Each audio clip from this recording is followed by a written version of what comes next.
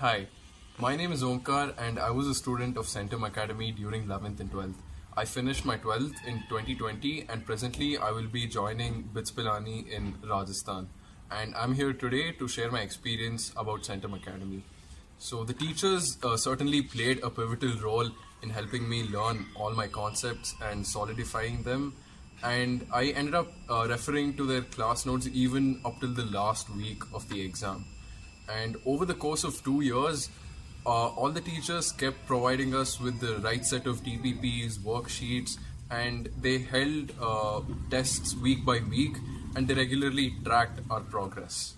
One main advantage about Centum Academy is that I think the number of students are are low. Uh, the the teacher student ratio is quite low. So what happens is that each uh, teacher can understand the strengths and weaknesses of all the students and they can help us accordingly.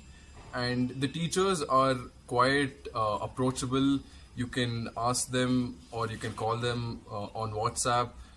They will clear any doubt at any point of time. There's no doubt regarding that.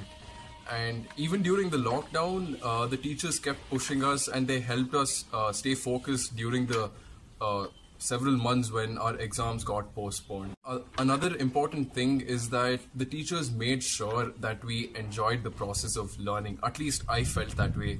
Sometimes Dheeraj sir would talk about his experience of college life in IIT Bombay, and all those moments combined together were actually uh, a motivation factor for us to work hard in order to get into one of these premier institutes and seeing my own classmates who sat with me through two years and myself getting into several premium institutes in the country like IITs, NITs, or BITS, or even triple ITs, I think I can proudly say that I was I'm honored to be a student of my teachers and the past two years have been truly great and remarkable.